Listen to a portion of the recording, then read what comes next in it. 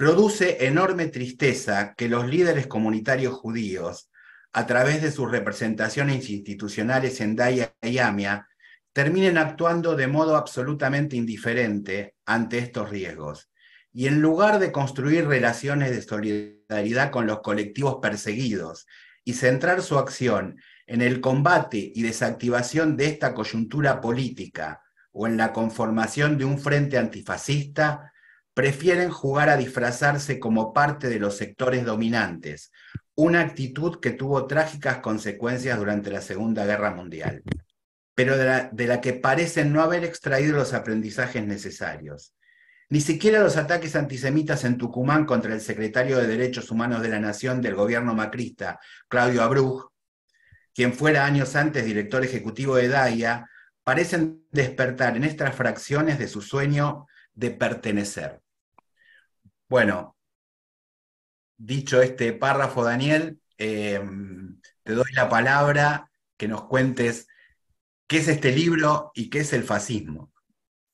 Bueno, gracias, gracias por la, por la invitación, por la presentación y era, era lógico que de los párrafos que podías elegir, eligieras este para la presentación en el llamamiento, está bien. Este, pero bueno, a ver, yo creo que por ahí es interesante. Yo pensaba hacer, por un lado, una exposición de, cuál es el sentido del libro, por qué lo saqué en su momento, por qué se, se reimprimió ahora. Es un libro previo a la pandemia del 2019, eh, pero quería desarrollar una de esas cosas después que tengamos un espacio como fue cuando, cuando presentamos pandemia también para el intercambio, que siempre es la parte más rica, ¿no? Del ida y vuelta, las preguntas y demás. Pero, y me encanta también que me presentes como, como sobrino de, Carlos Coco para, nosotros en la familia, o como el hijo de Tito también. El hijo de Tito. El hijo de Tito, de este, Ricardo. bueno, en el ámbito comunitario siempre fui. Este, claro, el hijo de Tito, de Ricardo Feierstein, escritor, eh, historiador de la, de la vida de la, de la comunidad judía en la Argentina. Así que bueno.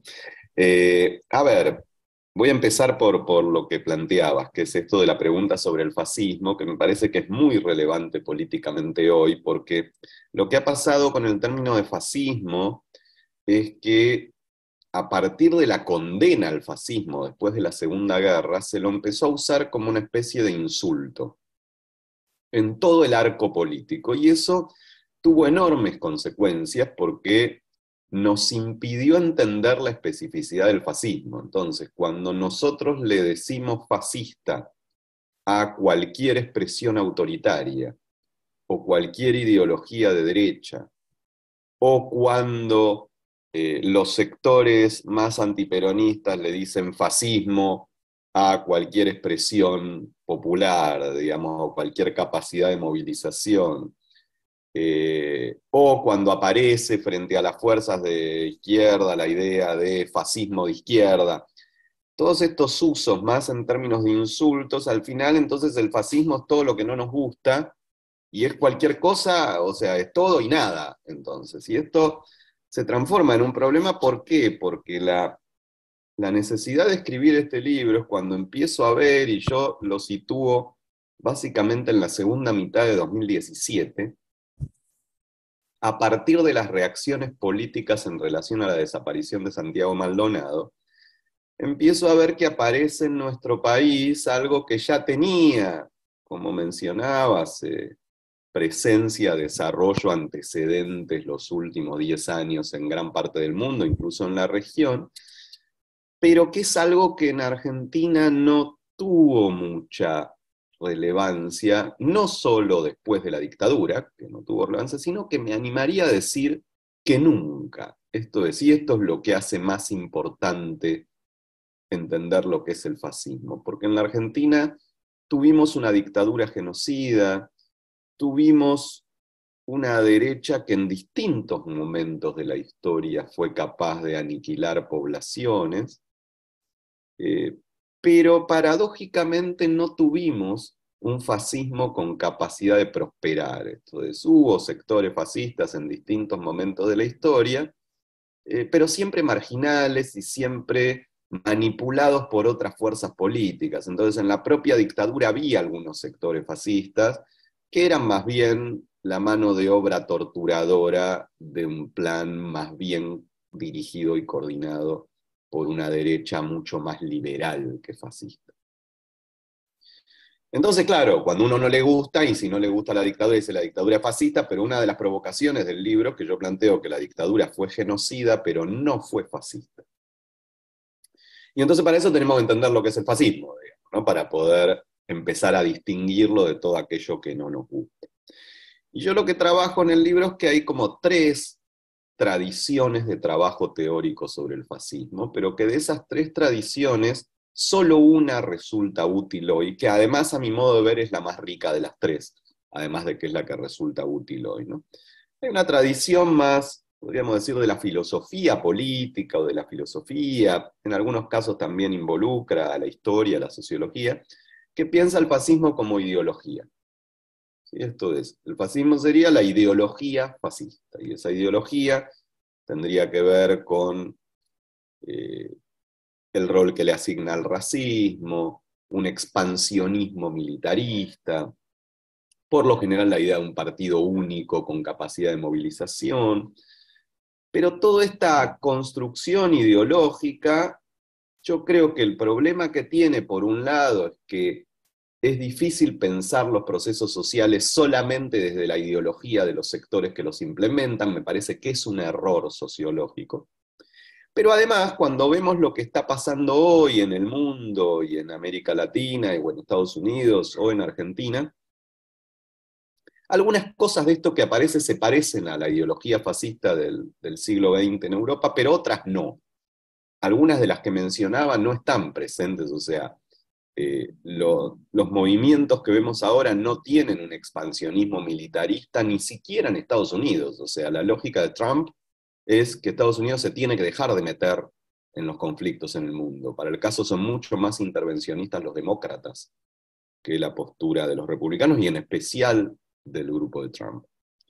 Entonces diría, me parece que esa primera línea no, no es muy, ni muy rica, sobre todo ni muy útil hoy. La segunda menos todavía, la que piensa el fascismo como un sistema de gobierno, es bien de la ciencia política, quizás el autor más clásico es Linz, si en la primera línea diríamos Bobbio, en la segunda Linz, y es la idea del corporativismo. ¿Sí? El problema es que si ya existe el término corporativismo, sería como una redundancia llamar a eso también fascismo, que tuvo que ver con esto de cuestionar la democracia republicana y establecer un sistema de gobierno a través de las grandes corporaciones, le hace las corporaciones empresariales, los sindicatos, la iglesia, las Fuerzas Armadas. Esto hoy está totalmente ausente. No es como lo de la ideología, que algunas cosas sí, otras no. Ningún movimiento político contemporáneo, de la derecha contemporánea, está planteando una lógica corporativa. Entonces, hasta ahí no nos serviría mucho el concepto de fascismo. El problema es que hay una tercera línea de trabajo que paradójicamente era la que la más importante en el momento del fascismo, tanto del fascismo italiano como del nazismo alemán, como del franquismo español, que tiene más que ver con los autores marxistas en general, en una gran gama, si uno podría decir, bueno, tiene mucho que ver con los trabajos de Gramsci, pero también se encuentran algunas eh, de las, de las referencias y los trabajos que el propio Trotsky hace sobre esa experiencia. Hay un muy buen trabajo de Ernst Mandel que se llama El fascismo. Y esa perspectiva lo entiende no como ideología, no como sistema de gobierno, sino como práctica social. Sería como el abordaje más propiamente sociológico del fascismo, que es más allá de la ideología que encarne, más allá de cómo organiza el gobierno, ¿Qué prácticas sociales desarrolla el fascismo? Y digo, y ahí es donde me parece, por un lado, la más rica y por otro lado, ahora cuando se los desarrolle van a ver que la más actual, porque esto sí que lo podemos ver todo en el presente.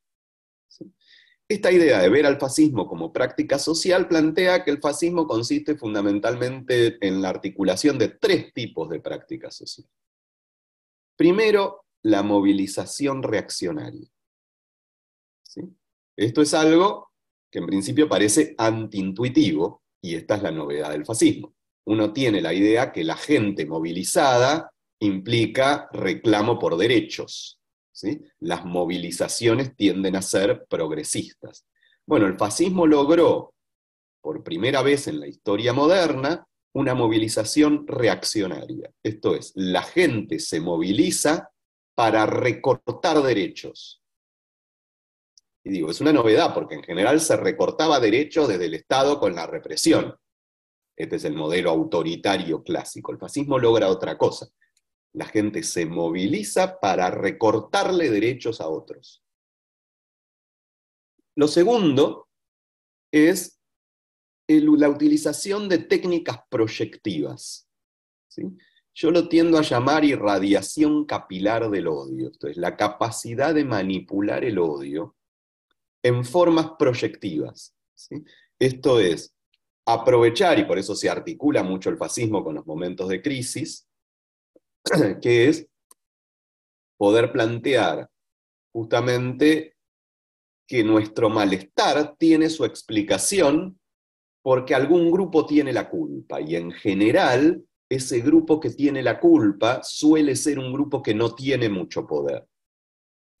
Pueden ser los judíos, pueden ser los gitanos, pueden ser los inmigrantes, lo hemos visto otra vez en estas últimas semanas, una andanada de declaraciones de distintos lugares políticos de los inmigrantes son los que nos usan los hospitales y las escuelas, las universidades, son los que tienen la culpa de la falta de empleo, bueno, eh, o hace unos meses apareció con mucha fuerza con respecto a los beneficiarios de planes sociales, los piqueteros, digo, eh, puede aparecer con distintos sujetos, pero siempre el carácter común es proyectar el sufrimiento, el malestar eh, que uno tiene hacia un grupo al que se le asigna la responsabilidad de ese sufrimiento y por lo general un grupo que no tiene mucho poder.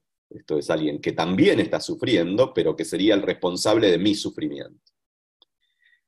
Y la tercera práctica es lo que van a llamar estos autores la realización de la victoria del capital, que tiene que ver con que el fascismo busca y por lo general logra la desarticulación de la organización de los trabajadores. O en un sentido más amplio podríamos decir que ataca la organización de los sectores populares. Entonces una característica del fascismo ha sido justamente el ataque, la cooptación, la destrucción del funcionamiento sindical. Esto es muy interesante porque es lo que llevó a un autor como Mandel, que era un autor austríaco, justamente a analizar los trabajos que caracterizaban al peronismo como fascismo para plantear el error en que incurrían, sobre todo, no podría analizarlo en función de las tres características, pero sobre todo en relación a esta tercera, porque decía, mal puede ser fascista un sistema político que colabora con la organización de los trabajadores, que le da potencia a la organización de los trabajadores. Porque justamente la categoría, una de las características del fascismo la destrucción de la organización de los trabajadores. Y esto es interesante porque no es ni que Mandel fuera peronista, ni que este, buscara incidir, pero le servía como ejemplo para pensar esta tercera característica, ¿no? que ha sido muy común en el fascismo, este, este tipo de ataque. Entonces, desde esta tercera mirada, es que a mí me preocupaba ya en esa segunda parte de 2017, porque comenzaba a ver la irrupción en Argentina de un conjunto de prácticas políticas que no conocíamos, y en este sentido una transformación de la alianza de gobierno de ese momento, que era Juntos por el Cambio, creo que se llamaba Cambiemos todavía en ese momento, estaban cambiando el nombre, pero una transformación porque esa alianza había surgido como una alianza que era fundamentalmente una articulación de grupos políticos distintos, pero que tenía que ver con un, podríamos llamar, una derecha liberal moderna, en ese sentido esta, esta idea de Durán Barba como asesor, los globos amarillos, eh, la promesa de esta modernización. Y va a sufrir un cambio ahí y un conflicto interno que ahora se expresa en, la interna incluso de, de, esta, de esta configuración política, con el rol que va a comenzar a jugar Patricia Bullrich como ministra de Seguridad y con un conjunto de eventos que comenzaron a ocurrir, quizás lo recordarán, por un lado las campañas de delación y persecución a docentes, el 0800 y las campañas de persecución a docentes por discutir en las clases o eh, ni siquiera discutir, por mencionar en las clases la gravedad de la desaparición de Santiago Maldonado. Los ataques a, hubo dos o tres asesinatos de miembros de movimientos sociales, eh, de sindicatos, tanto en el Gran Buenos Aires como, bueno, en el sur, después, un mes después de la desaparición de Santiago Maldonado, el asesinato de Rafael Nahuel. Eh, los ataques a periodistas en manifestaciones, la aparición y que mencionaba en ese párrafo que, que leías en la presentación, eh, que a mí me llamó mucho la atención, porque además tuvo muy poca prensa, pero fue esa, esa manifestación en Tucumán contra Claudio Abruz, esto es, contra el secretario de Derechos Humanos del gobierno macrista, donde se lo acusaba de estar a favor del aborto y como judío estar inscripto en una tradición que incluía a Marx, a Freud, este, a Berbisky, a Soros, y a toda la conspiración este, contra el, ser argentino. Y digo, me parecía interesante que fuera precisamente a una figura como Claudio Abruz esta, esta manifestación antisemita que lo recibe en, su visita a Tucumán. Eh, y lo que comienza a aparecer como también las, los llamados, que después cobraron mucha más fuerza ahora, el último año, año y medio, a la agresión a los piquetes, con la, el llamado a la conformación de un movimiento antipiquetero, con la organización de grupos civiles en el sur para salir a atacar a las comunidades originarias. Entonces digo, son cosas, insisto, que no conocimos esto es, en la dictadura pasaron cosas horribles en términos de, la implementación de un proceso genocida, pero no eran estas. Esto es, la dictadura estigmatizaba a los subversivos, pero no salían bandas de vecinos a cazar subversivos. A los subversivos los perseguía fundamentalmente el poder estatal, la fuerza de seguridad, las Fuerzas Armadas. Eh, en todo caso, antes del golpe militar existían estas bandas paraestatales, pero otra vez no eran grupos de vecinos, eh, aparecían como bandas paraestatales, pero en verdad eran las fuerzas de seguridad y las Fuerzas Armadas este, organizadas de forma paraestatal. Entonces, eh, digo, esto es lo que me llama la atención y me hace en 2019 escribir el libro que se potenció lamentablemente porque eh, pandemia por medio, ese proceso que era muy incipiente a fines del 2017 y durante el 2018, eh, pega un salto gigante y entonces algo que interpelaba a un sector pequeño del peronismo, ¿sí? yo diría Pichetto, que luego cruza el charco, digamos, pero que en ese momento era presidente de bloque del peronismo, Bernie, Guillermo Moreno, planteaba algunos nombres que estaban comenzando a coquetear con estas formas fascistas desde el peronismo, y este bloque dentro de Juntos por el Cambio, sobre todo liderado por Patricia Bullrich, pero que comenzaba a tener figuras que se iban sumando a esas lógicas de un Fernando Iglesias, eh, a esta, digamos, a esta utilización de la grieta en un sentido ya de otro carácter y de aumento de la violencia. Esto decía, con la pandemia va a sufrir un salto y entonces ya en 2019 va a aparecer una fuerza política a la que conducía Gómez Centurión, un antiguo cara pintada que comienza a asumir directamente como fuerza política este planteo y que saca el 3% en las elecciones, eh, el 3% parejo en todo el territorio nacional, lo cual ya era una señal de alerta. Va a aparecer después esta irrupción de ley, digamos, tratando de... Eh, usufructuar, capitalizar esto que, estaba ocurriendo, o grupos, como vimos en el atentado a la vicepresidenta, como Revolución Federal, o este, o este grupo de los copitos, pero digo, hay, hay más de una decena de grupos de este tipo, con menor capacidad de articulación y organización que lo que pueden ser eh, grandes partidos como el PRO o sectores del radicalismo, sectores del peronismo o incluso esta irrupción de la libertad avanza. Entonces, hasta ahí la preocupación y, la descripción de la situación que lleva el libro. Y yo quería mencionar un tema más antes de abrir al debate, un tema largo que, tiene varios adentro, que es tratar de pensar lo más importante que podemos hacer, me parece, que es eh, qué cosas de nuestra propia práctica facilitaron y facilitan el crecimiento, la emergencia del crecimiento del fascismo.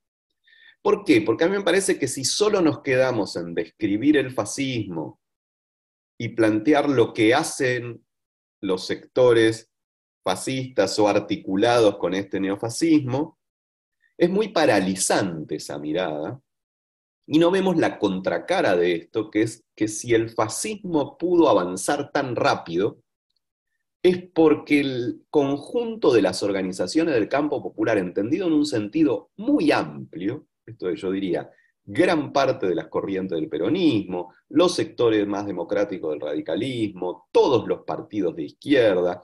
Esto es, cuando hable de este campo popular o del progresismo, me voy a estar refiriendo a todo esto, porque me parece que ha habido algunos problemas comunes a todo ese arco, que son los que facilitaron el crecimiento, la emergencia del crecimiento del fascismo. Eh, y los voy a dividir como en tres grandes cuestiones, más allá de que cada una incluye un montón, ¿sí? pero tres grandes cuestiones por ahí para, este, para, para poder organizarlas un poco. Tres grandes cuestiones en las cuales el campo popular no está dando respuestas, que el fascismo, el neofascismo sí está, sí está dando. Los menciono primero y me voy a meter con cada uno. ¿sí? Por un lado, eh, el tremendo aumento de la desigualdad en la distribución económica. Me parece que hay un primer tema que tiene que ver con los discursos, las respuestas, las propuestas políticas ante el aumento de la desigualdad. El segundo tema va a ser las respuestas, las propuestas ante el aumento de la inseguridad. Y todo lo que está asociado alrededor de la inseguridad. Y el tercero la forma en que se abordan las transformaciones identitarias que han ocurrido en las últimas décadas, que hacen que seamos muy distintos como sujetos y como grupos de lo que éramos hace 30 años. Voy a tratar de desarrollar las tres y con eso cierro, ya que me voy a meter un rato con cada uno. Primero la cuestión de la, desigualdad. ¿sí? Yo creo que ahí hay un problema muy general que ya lo vio Perry Anderson en los años 70, pero que cada vez se agrava más, que es que la izquierda se volvió cada vez más izquierda cultural. Y en ese volverse izquierda cultural, perdió el lazo con los sectores sociales que eran su basamento, que son los sectores de trabajadores, los sectores populares. Entonces, en ese quiebre de lazo eh, en todo el mundo, porque Perry Anderson no habla de Argentina, está hablando de transformaciones en Europa, en Estados Unidos, pero vamos a ver que esos progresismos eh, cada vez han ido dejando más de lado eh, una propuesta para transformar el aumento de la desigualdad, han avalado el aumento de la desigualdad. Y esto es interesante para verlo en nuestro país, Argentina tuvo ciclos distintos en los últimos 10 años, tuvo ciclos de caída económica bajo el macrismo, ciclos de crecimiento económico a partir del fin de la pandemia, incluso un crecimiento muy sostenido 2021, continuado en 2022. Sin embargo, hay un elemento que es común, yo diría prácticamente del 2014 para acá, eh, y que en realidad eh, la transformación contraria fue hacia hasta 2010, una cosa así, que es eh, el aumento de la, desigualdad, de la distribución de la riqueza. Es decir, sea que el país cae, sea que el país crece, la desigual distribución de la riqueza aumenta. Esto es, los salarios vienen perdiendo en relación a los precios hace siete años, no hace dos o hace tres.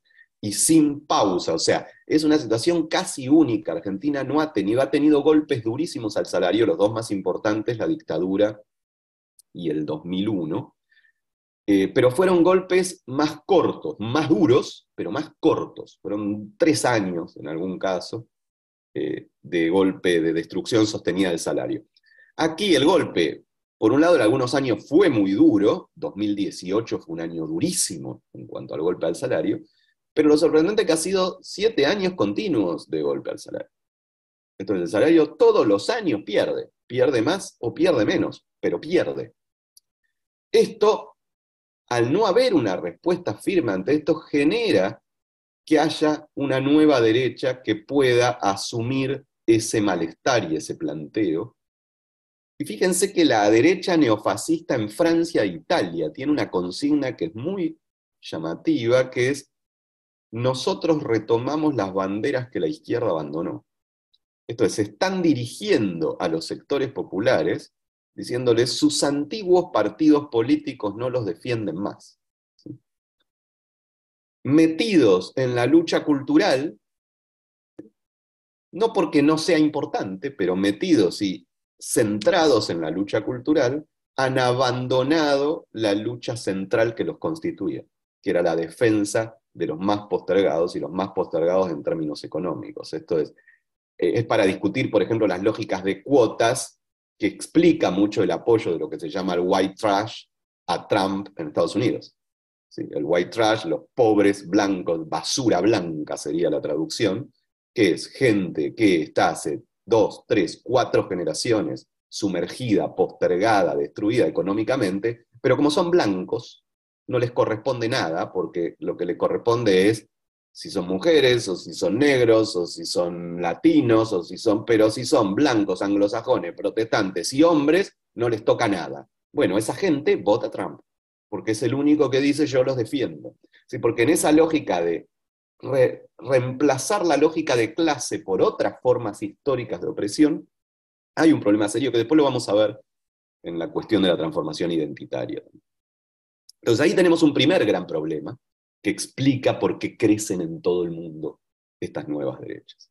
El segundo gran problema está alrededor de la cuestión de la inseguridad, que otra vez es algo que las izquierdas clásicas tenían claro, incluso eh, demasiado duramente, para mi, para mi gusto por lo menos, pero que la izquierda, esta progresista, cultural de los últimos 40, 50 años, ha perdido de vista el marxismo tenía un concepto que era lumpen proletariado, ¿sí? con el cual refería a, que, a los sectores desclasados, desplazados de la sociedad y que como deciden recurrir al delito común, de alguna manera se enfrentan a su propia clase y Marx los veía como la mano de obra de todas las aventuras de las derechas extremas.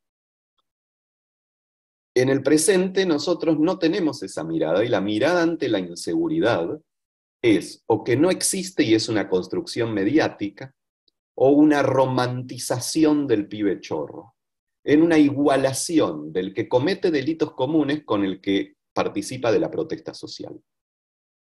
Esto tuvo que ver con el desarrollo del garantismo, con la búsqueda de defender los derechos de la población que es atacada por el poder punitivo, tuvo mucho que ver con una reacción ante la dictadura y ante el uso de las fuerzas de seguridad por parte de la dictadura, pero yo creo que llevó a una enorme confusión, en el sentido de que la inseguridad la sufren sobre todo los sectores populares, porque claro, no es fácil ir a robar a un barrio acomodado repleto de policías o a barrios privados con seguridad privada este, que te van a pegar un tiro. Entonces, ¿dónde se lleva a cabo más el delito común en el barrio popular.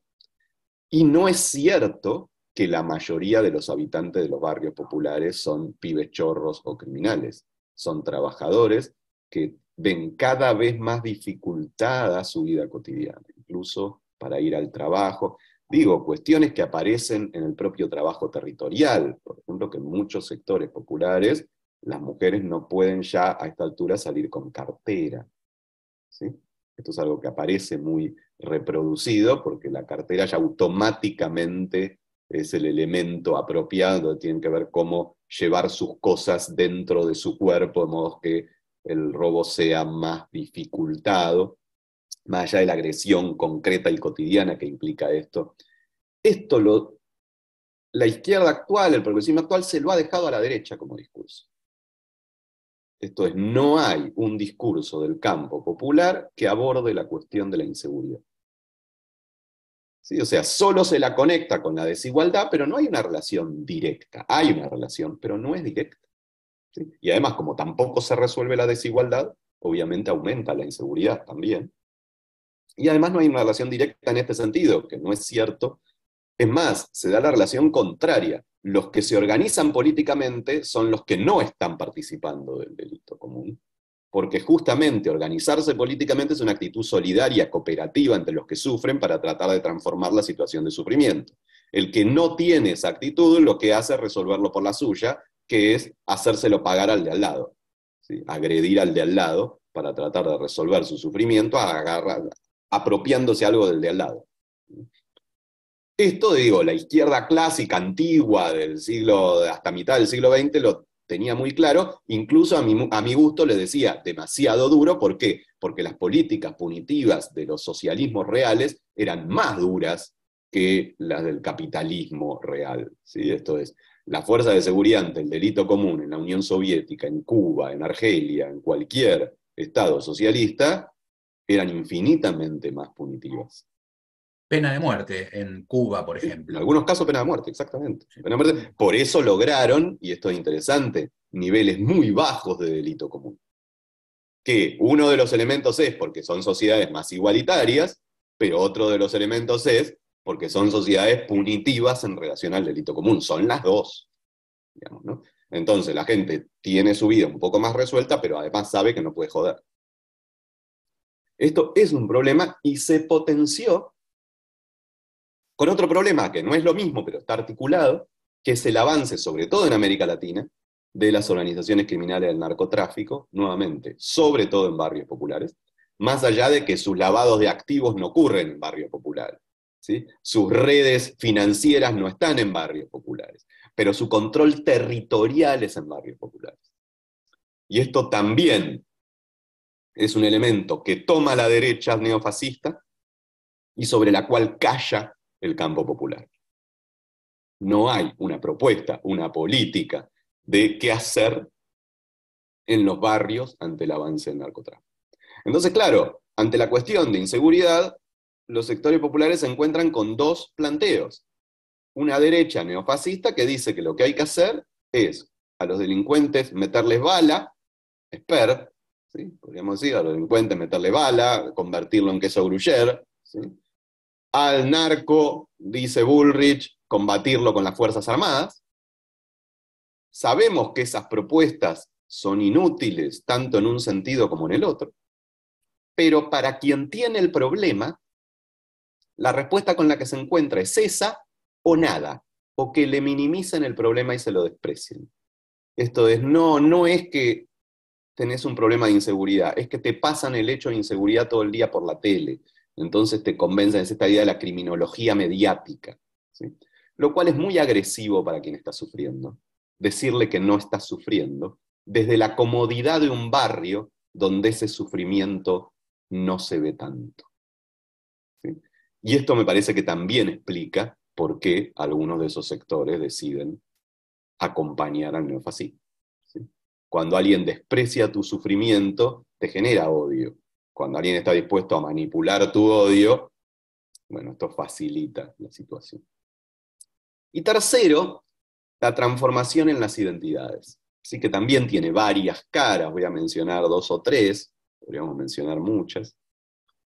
Eh, por un lado, tenemos un modo de construcción identitaria que tiende a construirnos como víctimas. Nuestra identidad se construye desde hace 30 o 40 años como víctimas de algo. Tenemos derecho porque somos víctimas, pero además no hace falta que seamos víctimas en el presente, sino que tenemos derechos heredados de la victimización de nuestros antepasados. Esto, para el lazo social, es un delirio. Primero, si todos nos vemos como víctimas, entonces es difícil establecer lazos de cooperación, porque todos estamos tratando de imponer que nuestra victimización es mayor que la de otros, y nadie se hace responsable de nada de lo que hace. Todos nos ubicamos en el rol de todo lo que nos corresponde, pero no de nada de aquello a lo que tendríamos que renunciar para que a otro le corresponda algo. Siempre el que tiene que renunciar es otro y el que tiene derecho somos nosotros. Eso es el manual para la destrucción del lazo social. Es imposible construir lazo social con una identidad que se constituye de esa manera.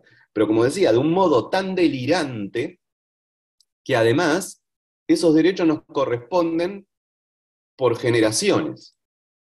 Esto es, que es el caso que les daba a Estados Unidos, pero vale para Argentina. Esto es, eh, no necesariamente una persona afrodescendiente hoy está sufriendo una opresión que pudieron haber sufrido sus padres o sus abuelos o sus bisabuelos hace varias generaciones. O por lo menos no necesariamente, a menos que yo lo pueda demostrar, sufre más que un white trash, que una persona blanca, ¿sí? que sin embargo está sumergida económicamente. Ahora, como el derecho no se construye a partir del sufrimiento actual económico concreto, sino de estos sufrimientos esencializados, entonces resulta que te corresponden cosas si encontrás algún pedazo de identidad al que le corresponda algo. ¿Sí? Esto es, si encuentro algún ancestro indígena, entonces por ahí puedo decir que como soy indígena porque me reconozco por mi ancestro, entonces me puede corresponder algo, sin que nadie juzgue cuál es mi situación actual y a quién le tienen que sacar algo para darme a mí en esa lógica de las cuotas, que fíjense qué raro, porque la lógica de las cuotas era la lógica discriminatoria por excelencia del siglo XVIII y XIX, particularmente los judíos la sufrieron muchísimo esta idea de que yo asigno las cosas por cuotas de identidad étnica. lo cual es tremendo porque además esas cuotas son para conflicto. ¿Por qué? Porque como todos tenemos muchas procedencias, si yo sumo todas las cuotas y le quiero dar a todos por cuotas, el problema es que no suma 100%, suma 750. Porque si yo tengo un antecedente indígena y uno afro y uno español y uno...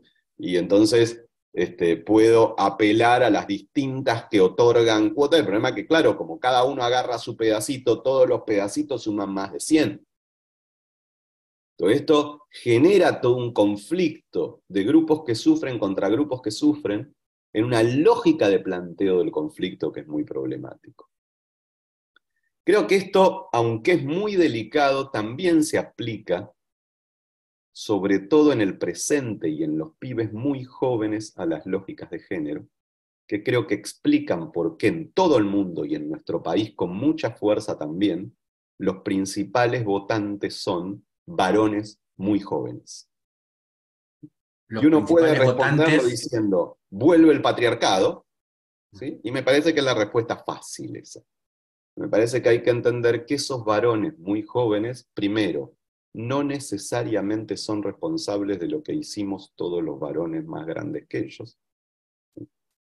Y vivir una situación de hostigamiento, de escrache, de dificultación de la el nacimiento a la vida sexual, que es eso que ocurre a los 14, 15, 16, 17, 18 años, que son esas edades de estos pibes, narrado por sus maestras, por sus madres. Esto es muy interesante, el sufrimiento de estos pibes yendo a la escuela en contextos donde saben que una frase mal planteada o una mirada mal interpretada puede implicar que se tengan que ir del curso producto de la lógica de scratch que puede ocurrir, me parece que es algo a repensar. Yo sé que es difícil, yo sé que es provocativo, sé que por ahí a muchos me va a gustar, pero me parece que las enormes conquistas de la marea verde, que son innegables, yo diría en nuestro país lo más importante que pasó políticamente la última década, con hitos fundamentales, por de pronto la, ley de interrupción voluntaria del embarazo, pero también diría haber logrado un poquito, por lo menos, que la, la facilidad con que la opresión machista se expresaba en la vida cotidiana tenga algún límite y que por lo menos haya que pensarlo dos veces. Pero me parece que todos esos logros que son innegables y que hay que sostener, tienen esta contracara de que quizás sea hora de empezar a modular un poco, que no todo es lo mismo, ni todo se puede combatir con la misma herramienta. Y que entonces una cosa es un profesor frente a una alumna, una cosa es un jefe frente a su empleada, y otra cosa son dos pares jóvenes en el ámbito educativo. ¿No? Me parece que no sirven las mismas herramientas para todas las cosas, me parece que esto también es un elemento para entender por qué masivamente muchos de estos sectores se están volcando al neofascismo, porque además hay una cuestión de construcción identitaria. Si se asume que no es posible reivindicar la identidad masculina, entonces un chico joven, una de dos, o tiene que hacerse homosexual, o tiene que sumarse al partido de Milei. Esto es, en la dificultad para asumir esto fue muy interesante cuando, eh, para darles otro ejemplo, pero que me parece que es muy rico para pensarlo, cuando ante la condena del nacionalismo nazi, el progresismo alemán renunció al nacionalismo alemán. Entonces, si vos querías sentirte orgulloso de tu nacionalidad alemana, tenías que ser nazi. Esto es, no había una forma de poder recuperar tu identidad alemana conectándola con la historia de la cultura alemana, con la construcción maravillosa filosófica de Alemania. Bueno, no, como que la condena en masa de la nacionalidad alemana te llevaba a que una de dos, o sos, o sos alemán anti-alemán, que los hay muchos, la mayoría del progresismo alemán, o si sos un alemán orgulloso de ser alemán, tenés que ser nazi. Esto explica mucho del crecimiento del neonazismo en Alemania. Creo que pasa algo parecido en este sentido, es decir, es complejo cuando una identidad es condenada en bloque, ¿sí? cuando no se deja a una nueva generación la posibilidad de poder recuperar elementos de esa identidad. Me parece que vale para distintos elementos esto y explica también esa fascinación del neofascismo, sobre todo, insisto, varones jóvenes blancos, ¿sí? que es como el gran núcleo en todo el mundo de crecimiento del neofascismo. Y por último, en términos de la identidad, diría el rol de las redes sociales, que me parece que también es significativo, pero no para, para hacer un comentario de viejo, de uy, qué terrible, porque siempre que aparecen, el nazismo implicó la aparición de la radio y la capacidad de utilización de la radio, siempre que aparecen nuevas tecnologías, hay la posibilidad de usos de esas tecnologías y tenemos que poner sobre la mesa el tema. Con las redes sociales lo que pasa es que eh, hay como una lógica en la que funciona la viralización de la red social que genera un fenómeno muy particular y muy negativo, que es que la red social es una instancia social, de hecho se llama red social, pero es una instancia social donde actuamos en un espacio íntimo. Esto es, actuamos con otros, pero en realidad cuando estamos participando en la red social, en la computadora o en el celular, estamos por lo general solos.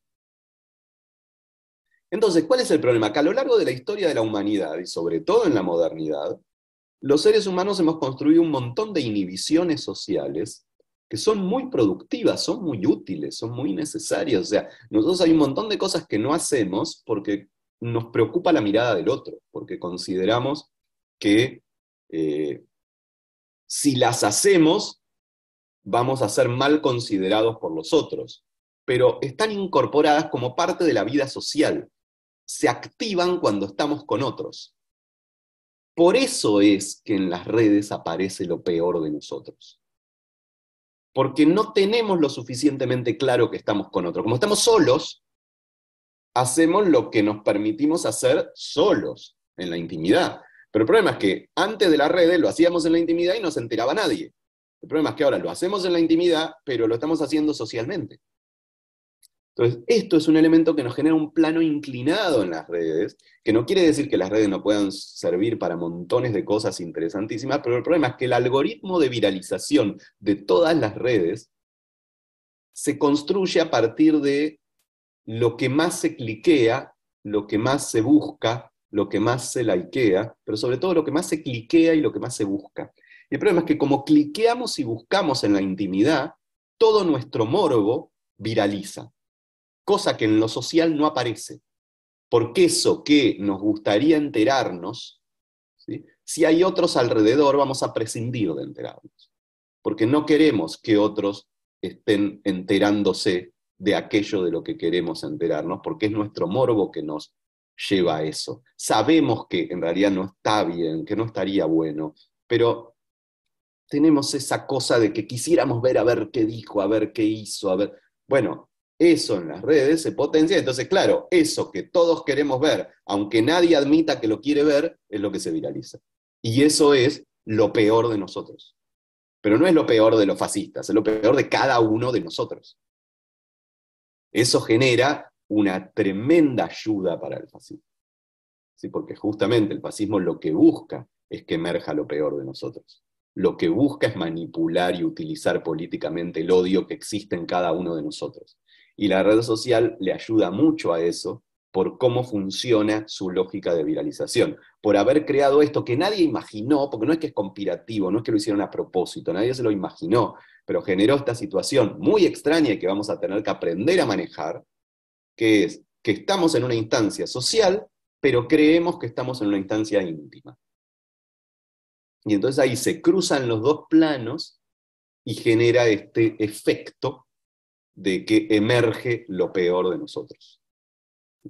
Bien, hasta acá un poco algunas cuestiones que, que quería tirarles en relación a por qué el libro, qué es el fascismo, cómo pensarlo y qué cosas estamos o no estamos haciendo que han ayudado a, a este crecimiento y a esta consolidación y a esta emergencia del fascismo. Así que bueno, a, disposición para eh, preguntas.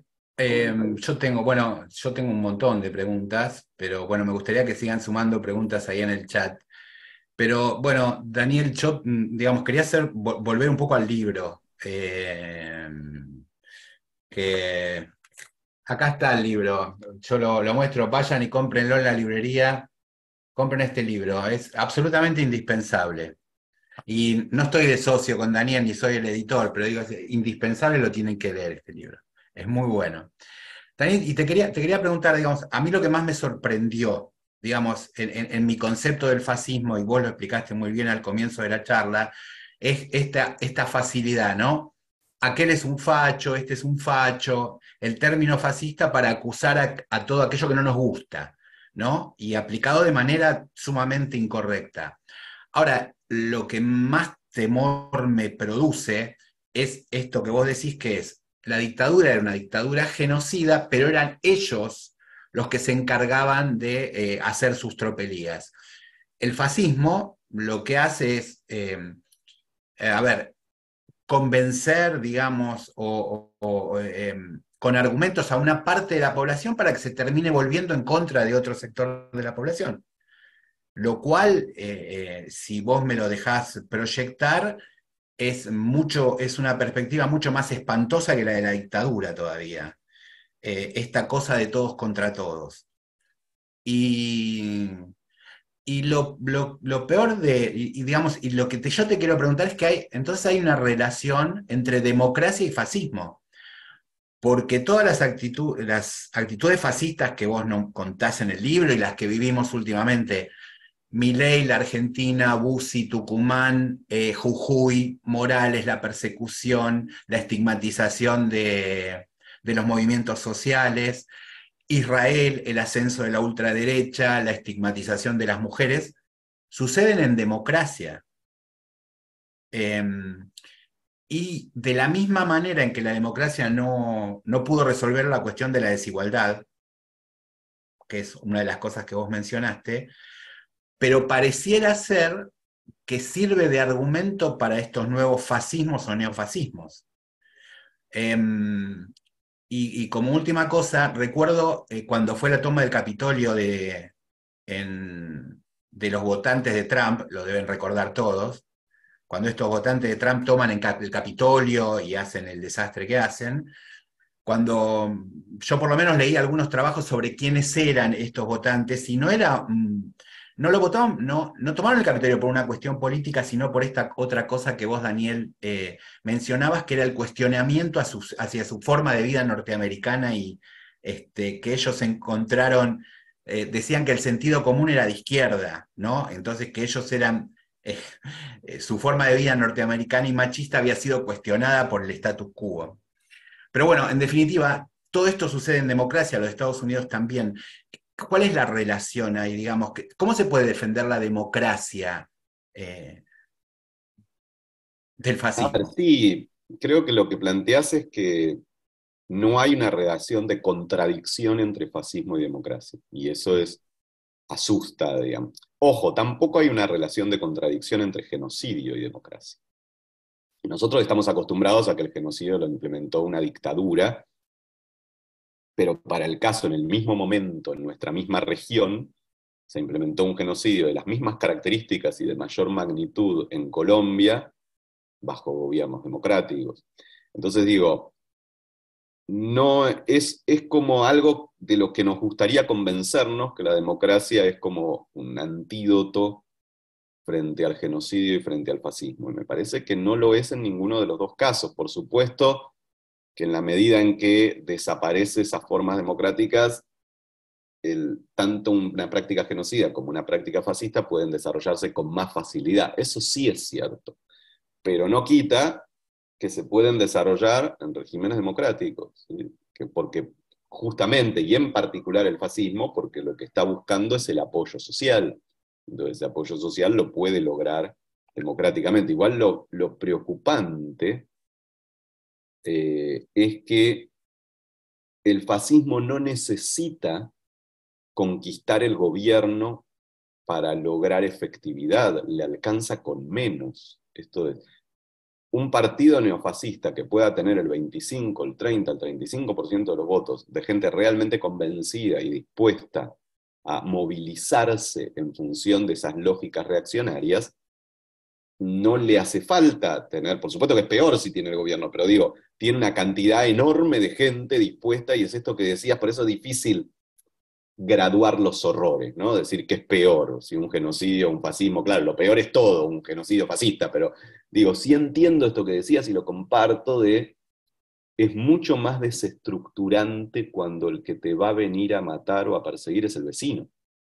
En un sentido, que sean las fuerzas de seguridad es terrible, terrible porque justamente el espacio que te tendría que brindar protección, pero en un punto puedes llegar a tener algún elemento ordenador en, lo terrible que es de que vos tenés un poco más claro de dónde proviene el peligro.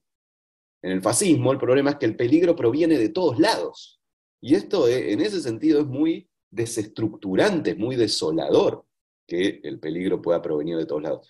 El problema es, bueno, ¿cómo intentamos desarmar estas lógicas? Y por eso digo que para desarmar estas lógicas, para impedir que avancen, para ponerle trabas, por un lado se requiere, esto que vos leías del libro, de ese párrafo, de que se requiere crear un frente antifascista, creo que es un momento para hacer acuerdos muy amplios para poner límites al desarrollo del fascismo, porque es esto, no toda la derecha es fascista, no todos los que no piensan como nosotros son fascistas, entonces hay mucha gente con la que hablar para establecer ese límite y luego empezar a dar respuestas a aquellas cuestiones que solo da respuestas el fascismo, que no implica dar las mismas respuestas que el fascismo, implica dar otras respuestas a los mismos problemas, que eran estos problemas que decía, en lugar de decir que esos problemas no existen. A mí me preocupa muchísimo un discurso, tanto en muchos lugares del mundo como en la Argentina, de cierto progresismo que le dice, los problemas que vos tenés no son los que vos crees que tenés.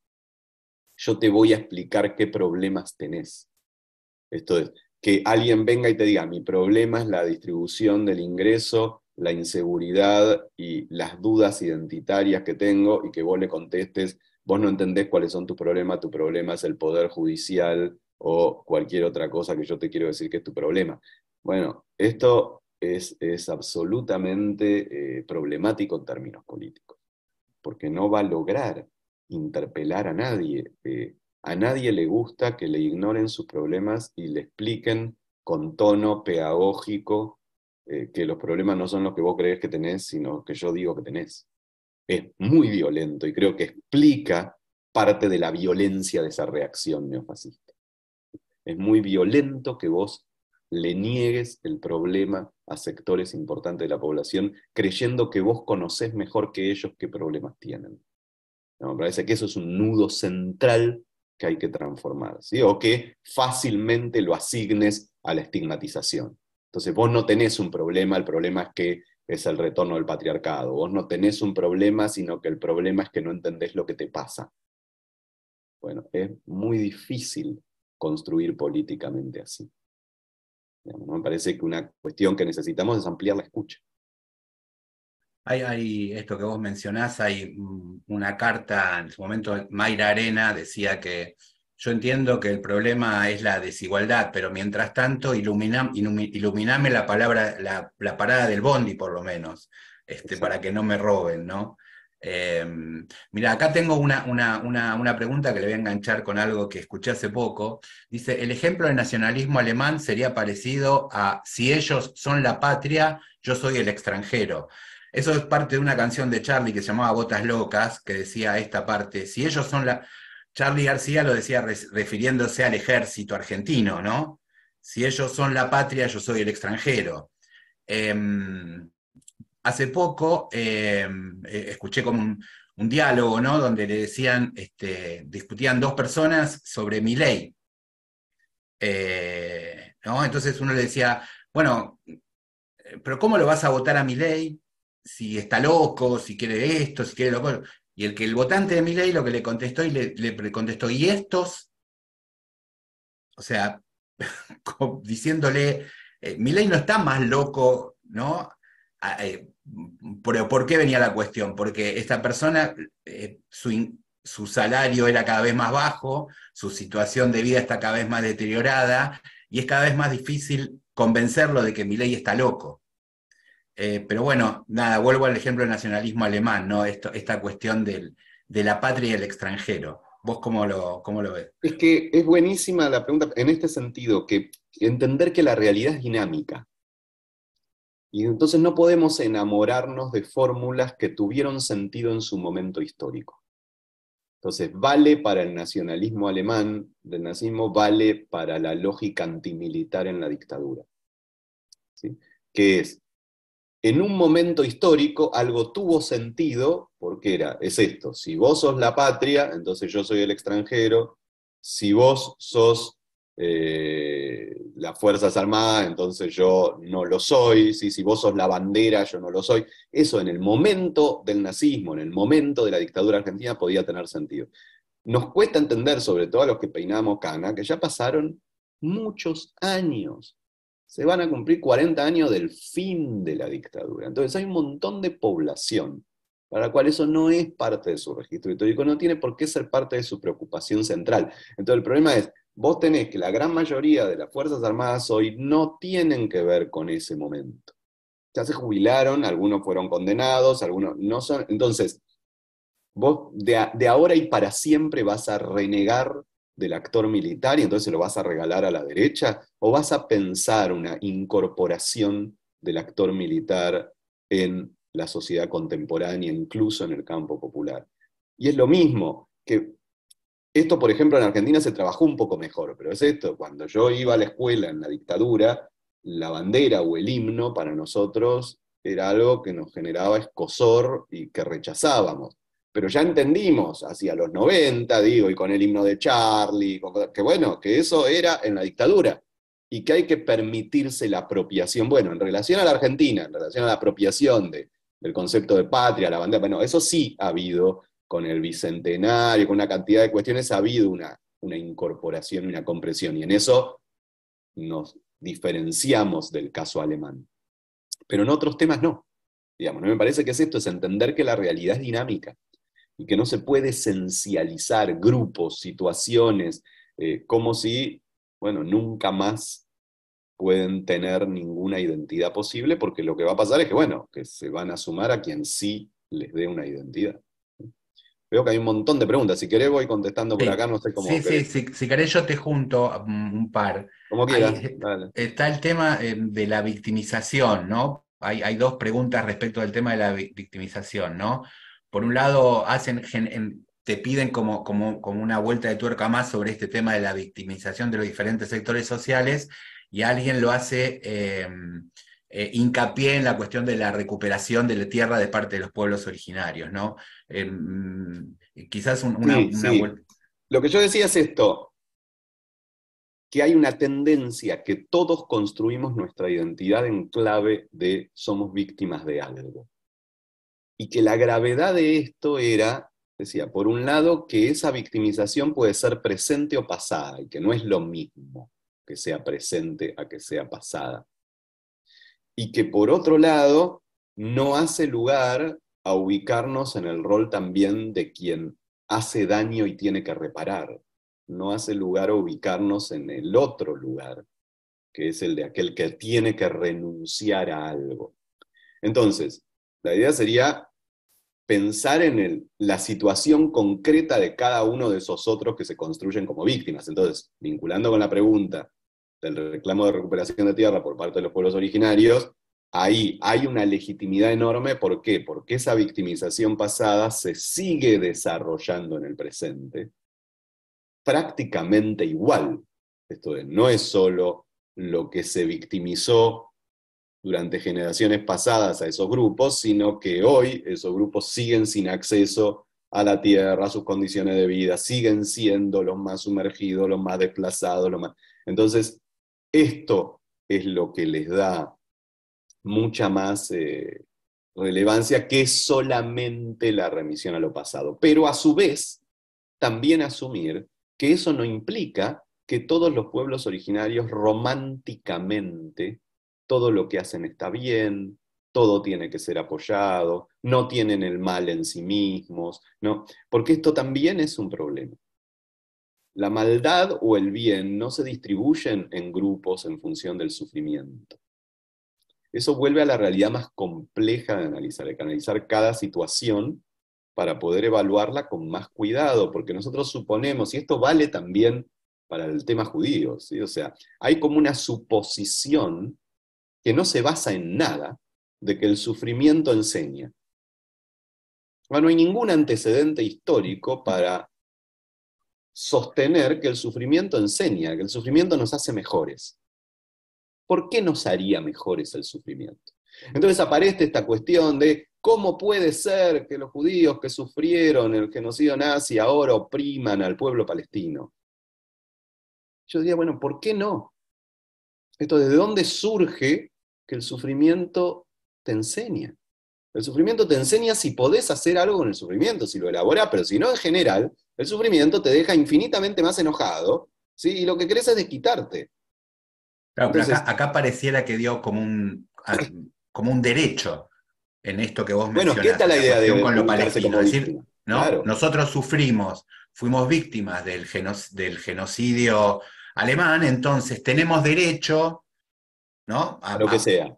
Pero esto vale, esto, mira, lo dijiste bien porque en esto era que yo planteaba esta de la construcción como víctima. Es eso. Esa construcción como víctima me da derecho. ¿Me da derecho qué? hacer el mal. No.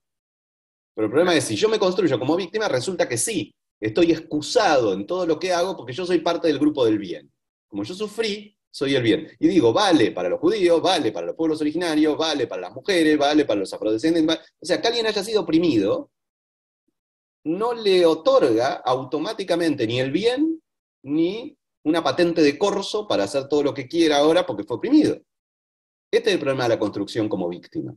Es decir, el bien y el mal no se distribuyen en función de la victimización. Es esto, no es cierto. No es cierto que el sufrimiento enseñe, y no es cierto que el sufrimiento nos autorice a hacer sufrir a otro.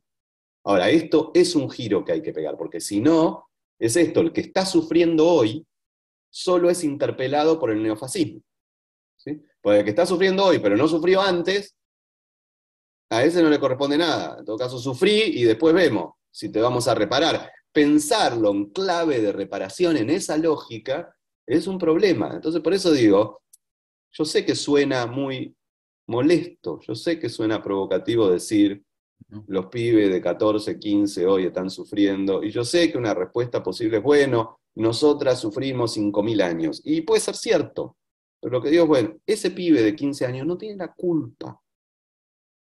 Y entonces ese sufrimiento de 5.000 años no justifica el sufrimiento de otro, justifica detener el sufrimiento, eso sí, justifica que no sea tan gratuito un abuso, justifica que no sea tan gratuito un acoso en la vía pública, una eso sí, pero no justifica que otro sufra.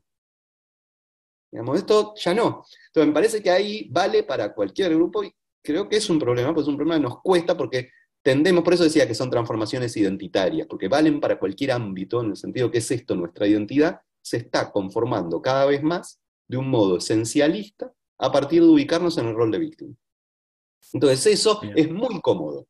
Y digo, los judíos de esto conocemos un montón, porque las cosas que se han hecho en nombre del sufrimiento judío en el nazismo son espantosas y además por gente que en general ya no tiene nada que ver con ese sufrimiento. ¿Sí? Porque como mucho tendrá un abuelo, si es que lo tiene, si no vino antes, digamos. Pero no importa, en nombre del sufrimiento ya justifica cualquier cosa para nosotros, estuvimos.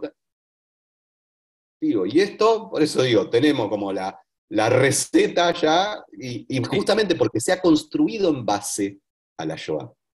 Digo, es el modelo de la Shoah diciendo, esta fue la lógica, así fue como ocurrió hacia los 80, 90, ¿no? Es, ah, lo hacen los judíos, entonces lo hacemos nosotros también. Fue, esta fue la lógica. Y entonces, esa autorización que se ha dado al judaísmo para hacer lo que quiere, en función de esa remisión de me dio patente de corso, el genocidio más importante, por lo menos de la modernidad, eso fue reproducido por otros sectores. Y entonces, ah, bueno, así como ellos, nosotros también sufrimos, entonces nosotros también tenemos derecho, ahora a lo que sea.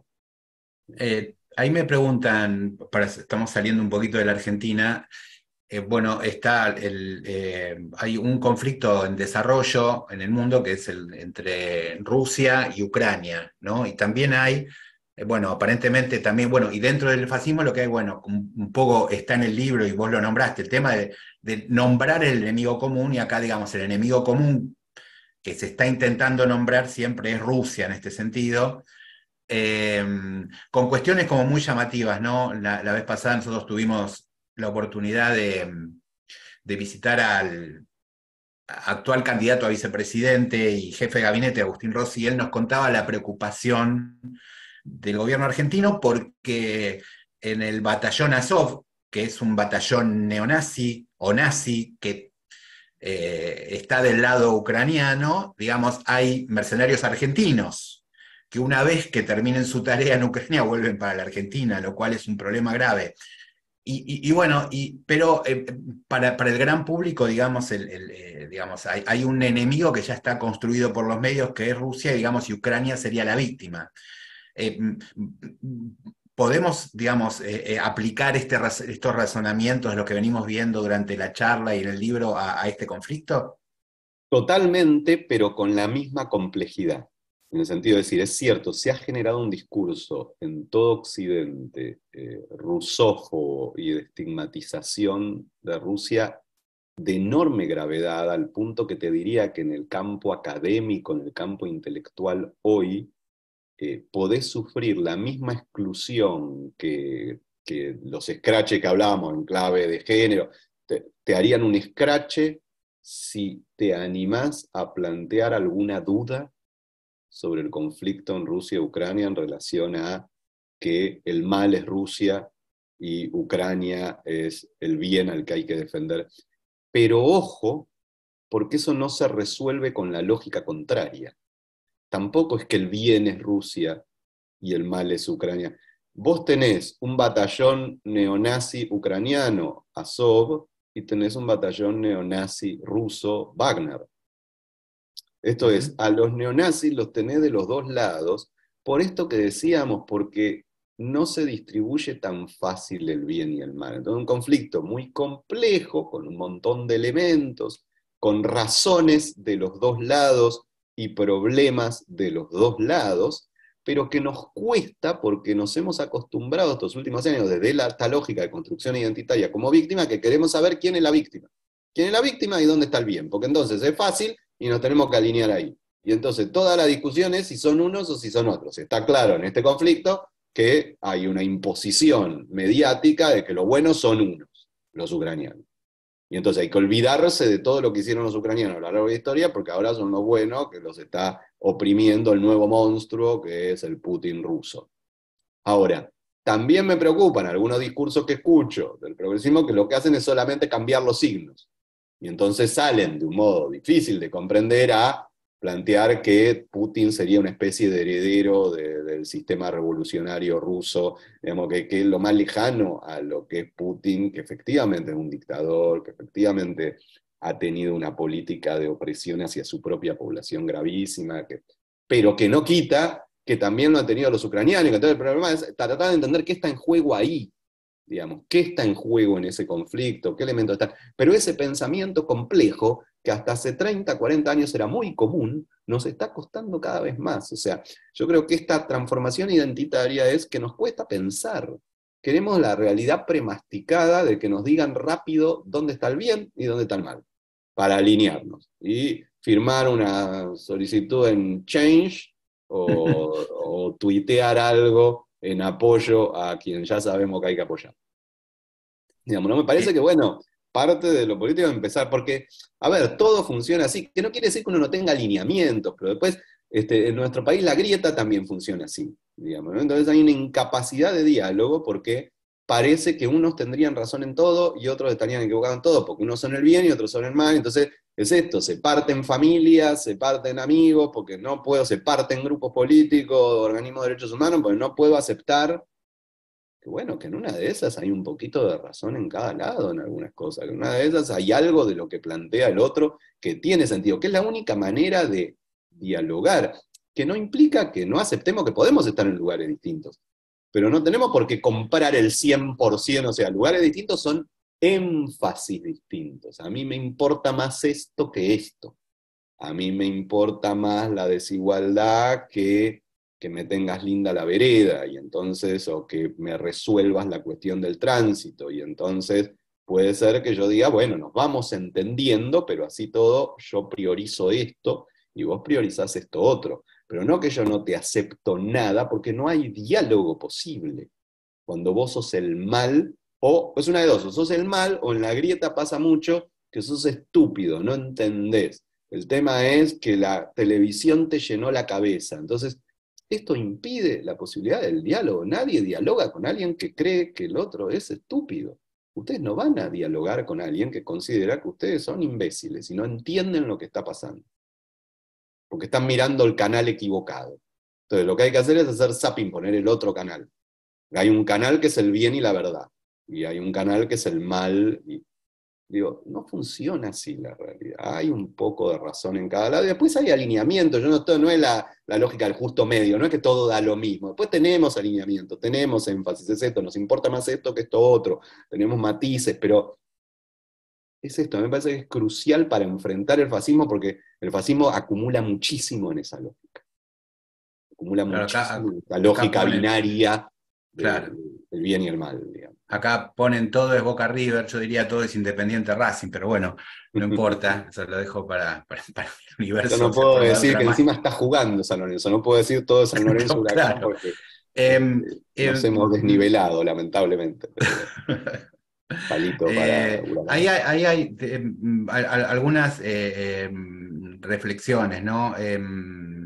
Una, que tenía que ver al, principio, ¿no? que, mm, muchas veces se hablaba, cuando se hablaba del fascismo y, se hablaba respecto del peronismo, porque hay, ¿no? acá había dos imágenes, dos estigmas que se le trataron de imponer al peronismo muy fuerte, y mucho desde la, desde nuestra, desde la mirada de la colectividad judía, de la, de la colectividad judía, ¿no? de decir, de cierta parte de la colectividad, decir, el peronismo era fascista, y el Perón tenía relación con los nazis, ¿no? Y esto tenía que ver, y la explicación era, bueno, Perón era fascista porque eh, se manejaba con las corporaciones, ¿no? los sindicatos eran una corporación, eh, los empresarios eran otra corporación, el ejército otra, otra corporación. Y uno entendía que, el fascismo era eso, ¿no? el fascismo era la relación, dejar la democracia de lado y manejarse directamente con las corporaciones digamos, e-, esta historia del peronismo, ¿no? Em, y, te lo junto con otra pregunta, ya que hablamos de peronismo y podemos llevarlo frente de todos. Está esta historia con el peronismo y también nos gustaría saber si tu palabra y tus análisis son escuchados. Ah, qué bueno. Eh, hay que ver dónde, por quién, pero sí, está buena las dos preguntas. Eh, primero, lo del peronismo, tal como decís, o sea, por eso analizaba las tres líneas de trabajo con el fascismo. Porque sí, el peronismo justamente tuvo, es esto, yo creo que, por eso les mencionaba el trabajo de Mandel, no tiene nada que ver con el fascismo en relación a su práctica social. Y eso es lo que decía Mandel. Y es muy importante entender que no tuvo nada que ver en relación a su práctica social. Ahora sí, si lo pensamos como corporativismo, que vi que había una pregunta, sí, el peronismo tenía una noción corporativa, sin embargo, no llegó a implementarla como los regímenes europeos en el sentido de que no eliminó el funcionamiento democrático, sino que lo sostuvo. En una especie de diálogo complejo, algo parecido pasó con el barguismo en Brasil, diálogo complejo con esa lógica corporativa. Pero como esa lógica corporativa, que era lo que estaba en la pregunta, yo veía, ¿no? Como efectivamente eh, le daba poder a los sindicatos como uno de los actores corporativos, es lo que lo lleva a Mandel a decir, el eje del fascismo es justamente la destrucción de la organización de los trabajadores. Y entonces un régimen que plantea el apoyo a la organización de los trabajadores no puede pensarse como práctica social en ese sentido. Y después está el otro tema que planteabas, que es eh, que lo que sí hubo fue elementos ideológicos del fascismo dentro de sectores del peronismo, en el propio Perón y dentro de sectores importantes del peronismo. Lo que pasa es que Perón tuvo un pragmatismo impresionante, entonces es muy difícil calificarlo ideológicamente porque podríamos decir que tenía todas las ideologías y ninguna, en el sentido que él tuvo esta capacidad de, licuar y procesar de modo ecléctico gran parte de las tendencias de su tiempo, ¿no? que es lo que le da su, su figura histórica, esta capacidad. Pero es innegable, digo, que hay sectores ideológicos fascistas que estuvieron siempre dentro del peronismo. Lo que yo decía es, que siempre estuvieron muy subordinados, y esta es la diferencia con el momento actual. Existían, pero estaban subordinados a una conducción política que iba para otro lugar. Más allá de que tenían su gravedad y son innegables, ¿sí? desde Ludwig Freud, que era el que arma eh, la Secretaría de Inteligencia de la Nación, digo, un lugar no menor, ¿sí? un tipo además eh, que viene de la experiencia nazi, que es incorporado por Perón como su secretario de inteligencia, digo, tipo no menores, hasta otras figuras, ninguna de ese nivel de relevancia, pero también eh, sumamente importantes, incluso en la conformación de la AAA. lo que digo es que siempre estuvieron como subordinados a otros sectores, y lo que yo veía en el momento actual es cuidado si el fascismo también puede que ocurra lo mismo y que simplemente sea un movimiento que aparezca y se termine subordinando, pero cuando uno lo ve emerger como práctica social ya es algo que yo no registro en la historia argentina con ese nivel de, importancia. Después me preguntabas si mi palabra se escucha. Depende de dónde, es difícil de responder. porque, a ver, yo en, la, pandemia alzaste la voz y fuiste escuchado por lo menos por, por un público muy grande, ¿no? Y que decían que, tenías como una mirada seria y acertada, cercana, pero a la vez con la suficiente perspectiva como para criticar lo que no te gustaba, eh, ¿no? Porque había, había una serie de críticas durante la pandemia a la, acción, del gobierno que eran desbocadas, incluso este, eran, eran fascistas, recordemos las críticas, este, las marchas en la 9 de julio, ¿no? Pero había una voz como la tuya en ese momento que te dirigías, digamos, ¿no? Eh, y que señalabas algunas cosas.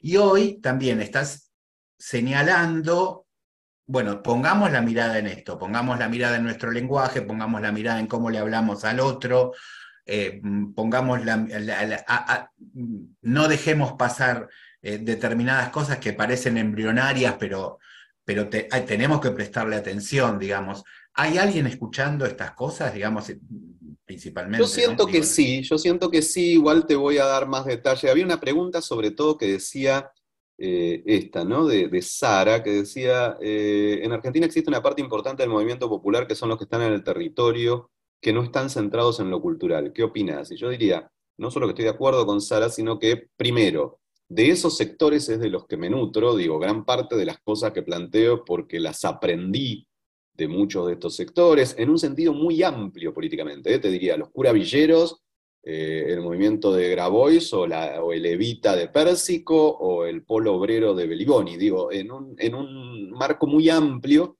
pero donde todos tienen esto claro, por eso alguna la citaba Mayra Arena, digo, tienen claro muchos de los problemas que planteaba, ¿no? ¿Por qué? Porque en el territorio aparece muy claro esta cuestión de no me vengas a joder con el garantismo, que es lo que me está pidiendo la gente, que hagamos algo con el narcotráfico la inseguridad, o la cuestión de la desigualdad, digo, muchas de estas cuestiones que yo planteo, incluso la cuestión identitaria, una vez lo, salió a decir Pérsico y casi lo, lo, revientan, le salieron a todos a acusar de, esto del retorno del patriarcado, porque había salido a decir algo de cómo se administraban los planes en relación a la lógica de género.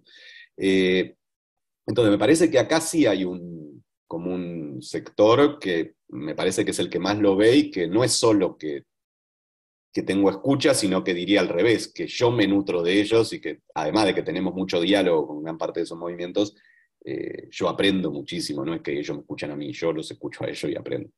Eh, muy en particular con, los curas villeros. Además que siempre nos reímos mucho, porque es esto, no es solo que soy judío, sino toda mi identidad judía y mi amor por los judíos, y, es muy gracioso siempre este, cuando tenemos el, diálogo con, los curas ahí en, distintos territorios. Después a nivel político es interesante, hay mucho diálogo con, sobre todo estos últimos años, desde que publiqué el libro, pero desde la primera edición, eh, con muchos grupos de base territoriales, pero no solamente de este tipo, sino eh, grupos de base de los distintos movimientos políticos, y también en un sentido muy amplio, ¿sí? pero esto, grupos que se juntan, unidades básicas, eh, este, de espacios de, de, militancia de distinto tipo, entonces ahí hay como mucha escucha también. Me cuesta más en los sectores, como de más de los representantes políticos, aunque con algunos tengo buen diálogo, pero no siempre, y sobre todo en los sectores mediáticos, y diría paradójicamente, más en los, es más problemático en los del campo popular que en, los medios hegemónicos.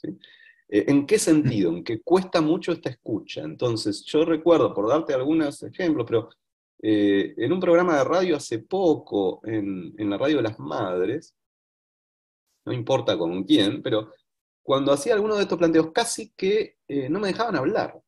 Esto generaba una indignación, esto, hacer un análisis un poco más complejo y matizado de lo que fue la experiencia kirchnerista, que eh, no podía seguir hablando. Y esto me pasó también en un evento en La Plata, me acuerdo, donde tuve que decir, bueno, miren, si ustedes me invitaron para que diga lo que ustedes piensan, entonces díganlo ustedes y chao. Digamos, o sea, me invitaron para que yo diga otra cosa. Entonces, primero escúchenlo, no hace falta que estén de acuerdo, pero déjenme terminar.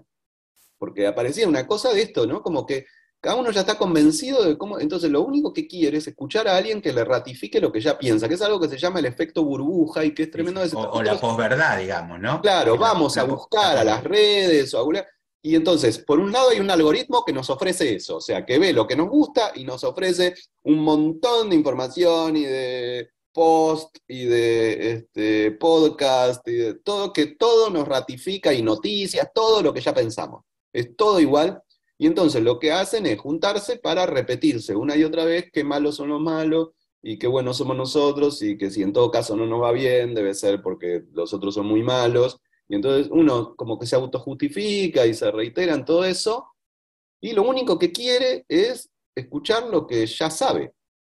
Entonces creo que Ahí es donde hay más problema, me parece, para decir, bueno, uno aprende de aquel con el que disiente. Y esto es lo que digo, de poder recuperar esa instancia que era tan rica del diálogo familiar, donde la familia no estaba de acuerdo y no pasa nada. No pasa nada, no es la expresión del mal alguien que no está de acuerdo con nosotros.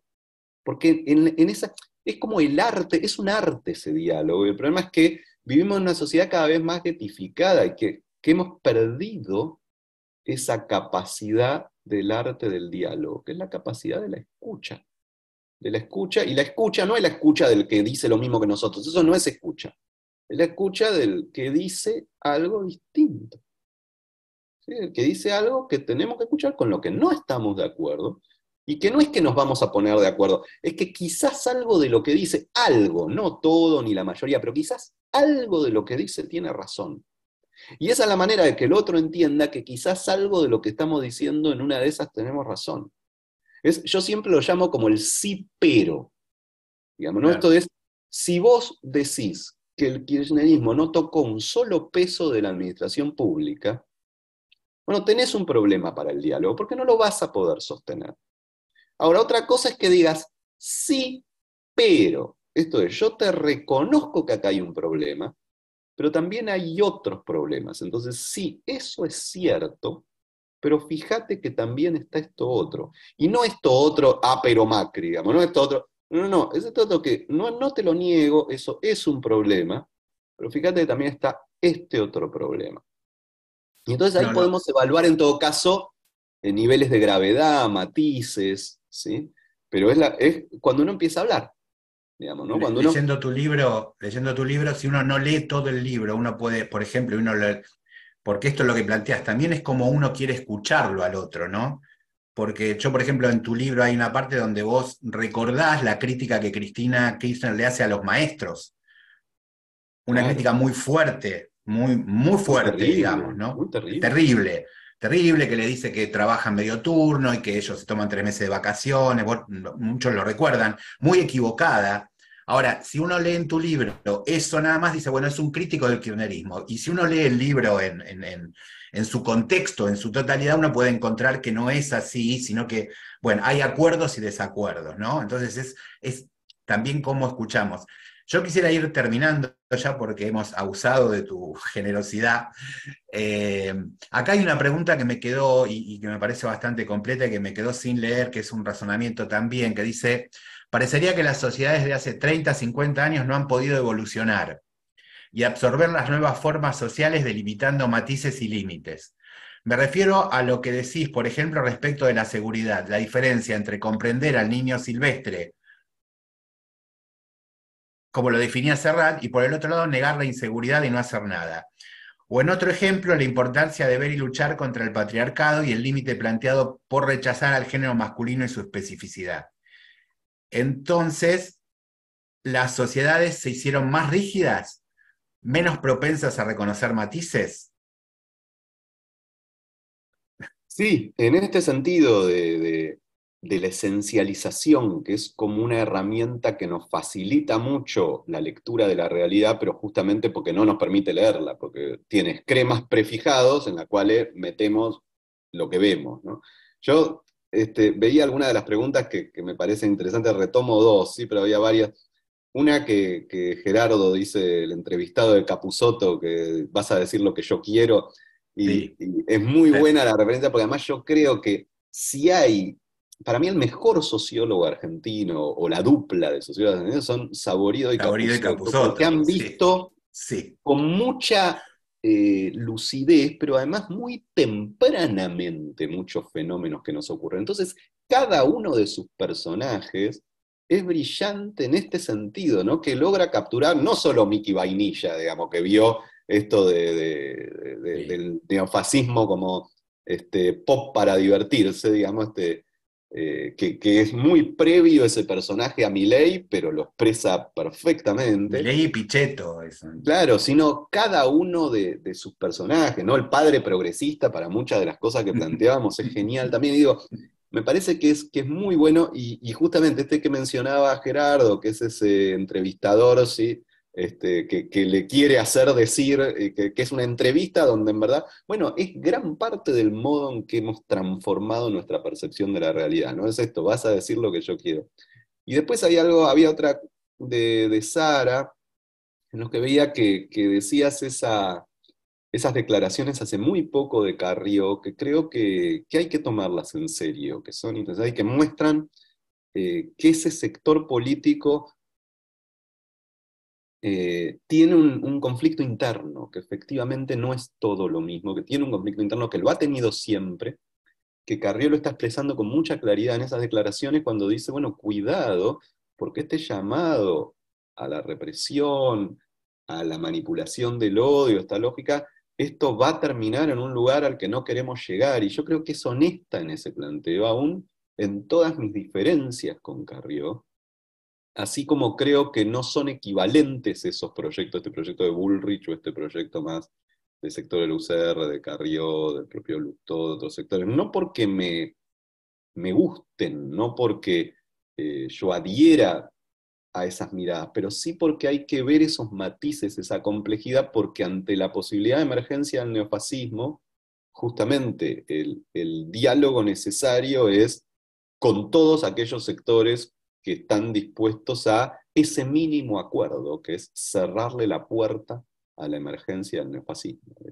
Pero pasa que, claro, muchos de esos sectores son sectores con los que no vamos a estar de acuerdo en nada más. ¿sí?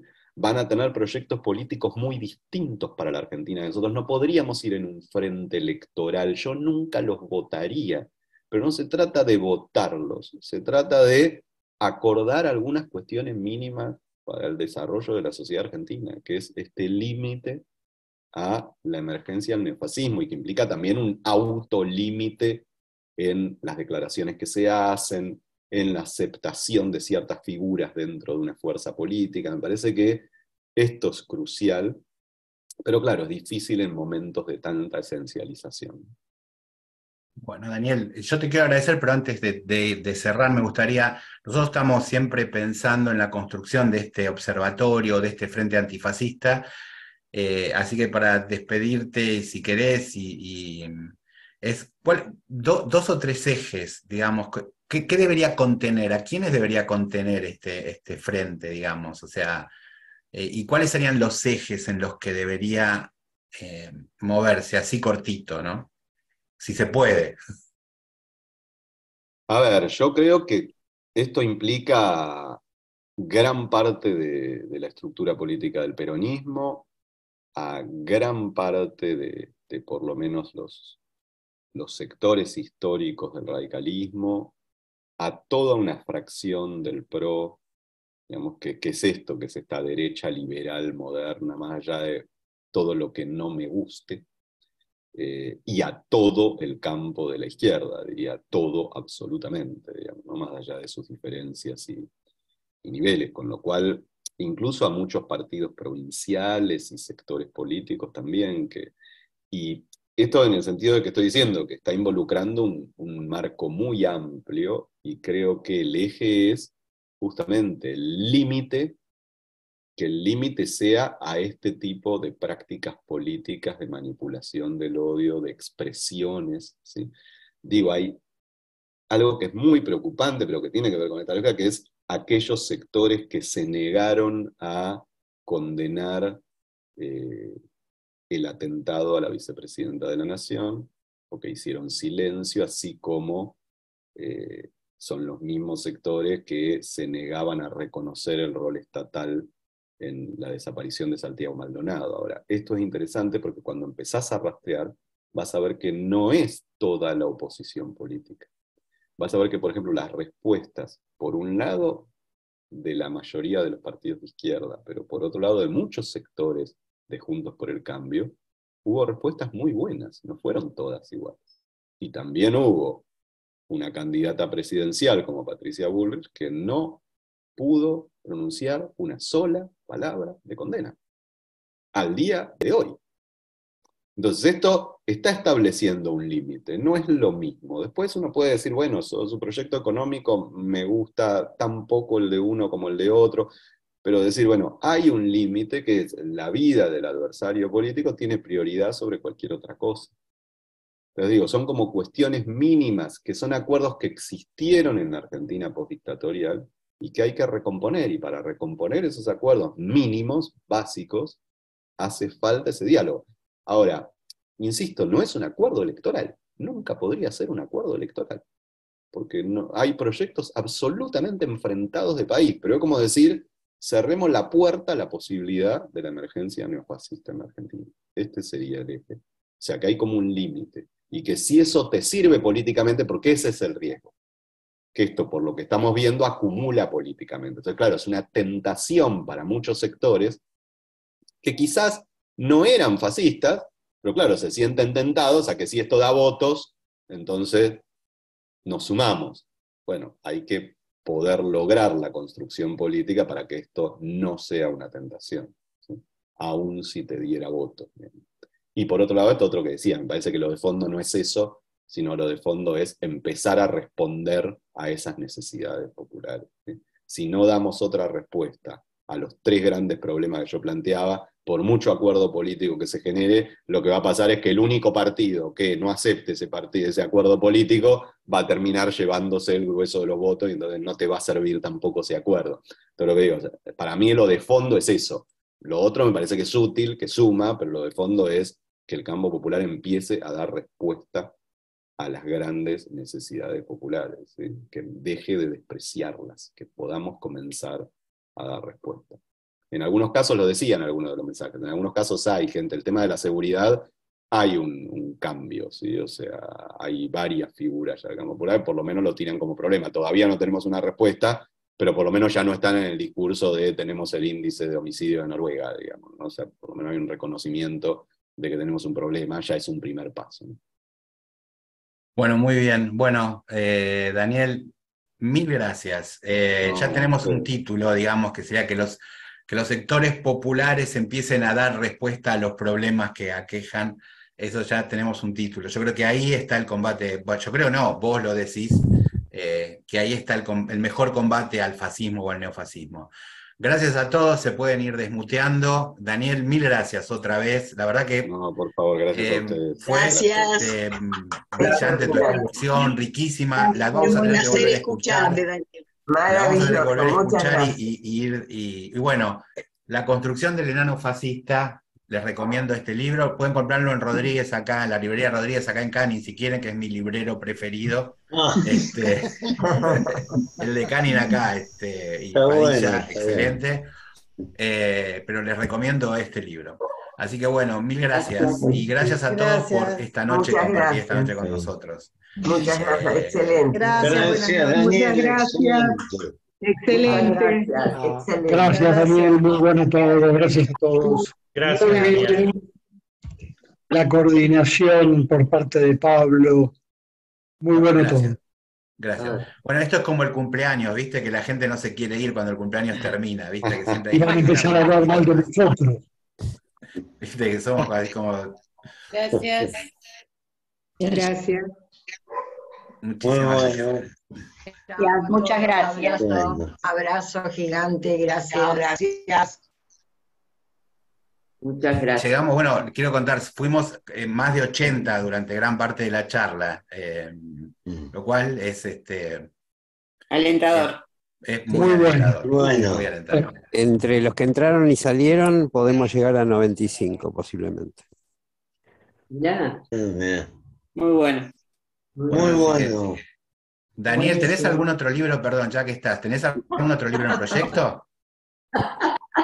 Tengo dos, tres cosas, que ver por cuál me inclino primero, porque por un lado tengo que terminar eh, la trilogía que hace muchos años estoy escribiendo sobre genocidio, que publiqué dos, que son el Memorias y Representaciones y Juicios, y me falta responsabilidades, que sobre la cuestión de la responsabilidad en el genocidio, ese lo tengo avanzado, pero siempre lo, lo detengo en función de otro proyecto, entonces vamos a ver si, si lo puedo retomar para el año que viene o el otro poder terminarlo. Pero bueno, básicamente estoy con eso y después estoy con, con otra mirada más de, de una introducción a la ciencia y Les cuento y les cuento a Daniel que la próxima charla es con Ranan Rein, que va a presentar su libro Cachiporras contra Tacuara, eh, y vamos a tratar igualmente de hacerlo hablar también de los muchachos judíos peronistas.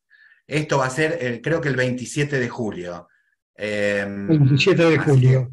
27 de julio, sí, lo, tenemos comprometido a Ranan para ese día. Em, un libro muy interesante, Cachiporras contra Tacuara, muy interesante.